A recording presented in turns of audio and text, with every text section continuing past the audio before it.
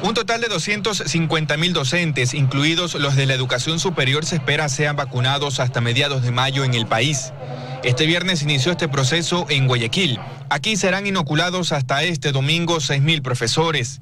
En el país hasta el momento se han vacunado a aproximadamente 10.000 docentes, tanto de instituciones fiscales como de particulares, fiscomisionales y municipales. Estamos aquí mil y mil en la Salesiana, hoy, mañana y pasado, o sea que el domingo tendríamos ya 6.000 y de ahí la próxima semana ya depende de cómo va diciéndonos salud que están las vacunas disponibles. Esperamos que se haga de manera continua y cada vez más acelerada hasta la primera semana de mayo que esté todo el sistema vacunado. La ministra de Educación aseguró que este proceso sería el paso más importante para empezar con el retorno presencial a clases, aunque la decisión también dependerá de los COEs cantonales, que deberán autorizar o no el retorno a clases presencial paulatino y voluntario. El retorno es progresivo y voluntario.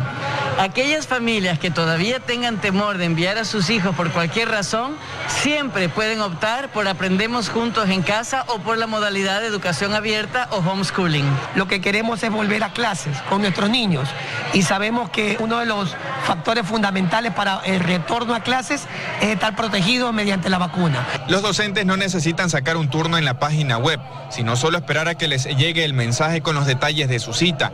El plan también contempla vacunar al personal de servicios, es decir, a los conserjes. Se tiene previsto que el inicio de clases para el régimen Costa sea el 7 de mayo, pero para quienes tengan bachillerato internacional será el próximo 22 de abril. Isaac Jacome, 24 horas.